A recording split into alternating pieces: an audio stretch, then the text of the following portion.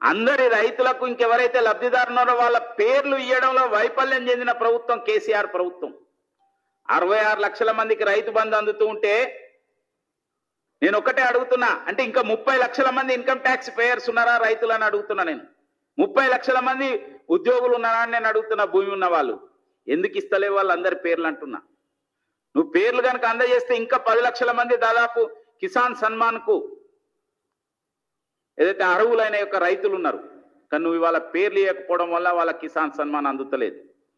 ఈరోజు నీ వైఫల్యాలను కప్పిపుచ్చుకోవడానికి వ్యవసాయం విషయంలో రైతుల విషయంలో వాళ్ళ నట్టేట ముంచే యొక్క ప్రయత్నం చేస్తున్నది నువ్వు.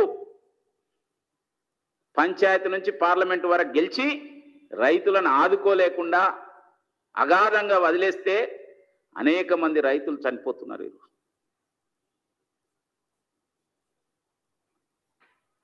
నీ యొక్క అరేంజ్మెంట్ కారణంగా ఇవాళ రైతులు చనిపోతున్నారు.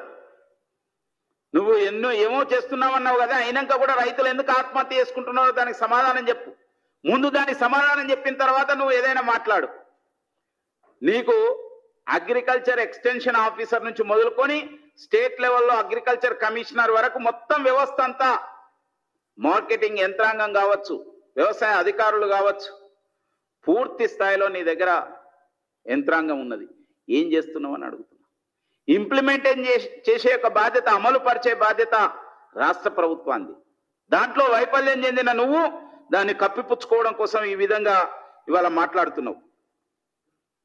నిన్న గురిసిన యొక్క అకాల వర్షాల విషయంలో భారతీయ జనతా పార్టీ కిసాన్ మోర్చా ఆధ్వర్యంలో రేపు ఎక్కడెక్కడైతే అకాల వర్షాలు కురిచినాయో ఆ మండలాల్లో భారతీయ జనతా కిసాన్ మోర్చా నాయకులు స్థానిక బీజేపీ నాయకులు ఆ పొలాలను పరిశీలించి రైతులకు ధైర్యం చెప్పాలని చెప్పి పార్టీ నిర్ణయించింది. అదేవిధంగా పదిహేడో తేదీన ఈ నష్టపోయిన దాని విషయంలో ఆ వివరాలతో పాటుగా జిల్లా కలెక్టర్లకు విజ్ఞాపన పత్రాలు కూడా అందజేయాలని సమర్పించాలని చెప్పి కూడా నిర్ణయించడం జరిగింది. తప్పక రైతుల పక్షాన భారతీయ జనతా పార్టీ నిరంతరం పోరాటం చేస్తుంది.